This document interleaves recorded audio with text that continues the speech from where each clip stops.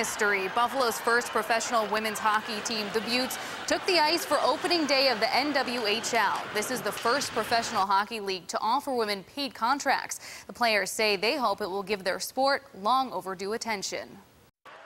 Buffalo Beauts have been ready for this moment for weeks. Expect to see fast-paced hockey. They set the tone against the Boston Pride on opening day for the National Women's Hockey League. There's a lot of people out there that don't know a lot about women's hockey, and they think, uh, you know, we can't skate or we can't play, and because we can't hit, it's not as physical as the men's game, but it is. Megan Duggan was a captain for Team USA's Sochi Olympic team.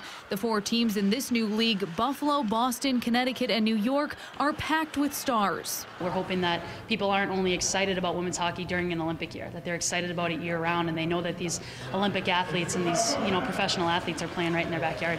And the league is creating a local base. It really is a dream come true to play professional hockey in my hometown. This is the first league to offer women paid contracts. The average salary is $15,000. There's never professional hockey in, in sight, so um, I never thought that there would be a league. So it's it's an honor and a privilege to be able to play professional hockey. Now they hope their efforts on the ice will inspire girls to pick up a stick. I think that young girls can really look up to uh, a lot of the players on, on all four teams, and hopefully, you know, it's, it's just promising for the future of the sport.